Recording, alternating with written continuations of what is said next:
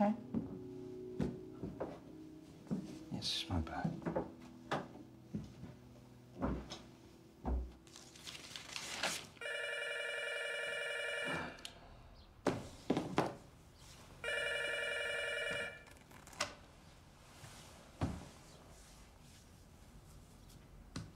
Richard? Yes. Oh, I'm sorry, I didn't hear you answer.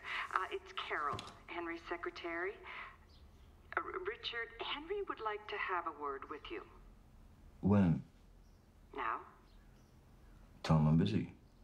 He says the matter is rather urgent. Tell him I'm urgently busy. Richard, Yes? He's ready to see you now.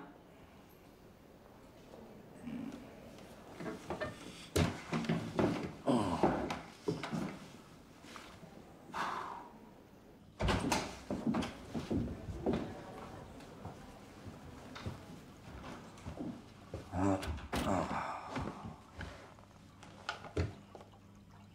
Tell me, Richard, do you like fish? No. I mean, to eat sometimes, but outside of that, no. No, I don't. I believe men could learn a lot from fish. That's the most asinine thing I've ever heard. Why don't we just cut to the chase? All right.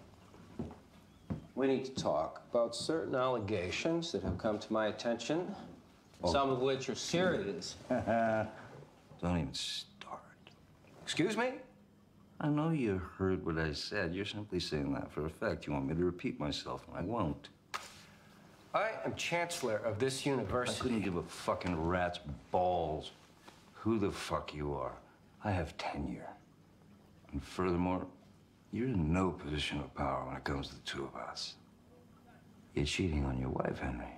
You're having an affair, and not just any affair, but one with the wife of a devoted faculty member. Specifically, mine. Not only that, but you've allocated funds from a dwindling budget for granite erections that you just littered throughout this entire campus.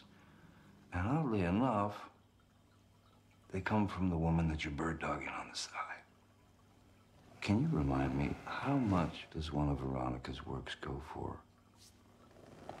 Chancellor, I have mounted you like a rutting stag, and I'm pumping away at you like a savage.